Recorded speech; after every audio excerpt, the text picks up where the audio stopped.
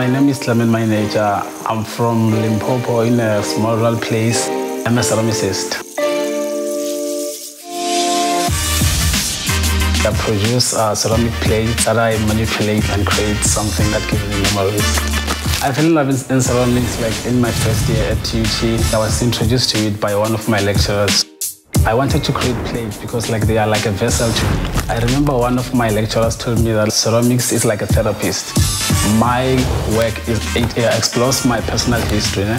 and I juxtapose that like with the surroundings that I grew up in. When I'm at home in Limpopo, like I take pictures of some of the things that are surround, surrounding me and then yeah, I just paint like the colors that they are in. For example, like leaves, seeds, you know you, you get this you can you get emotional. It's a healing process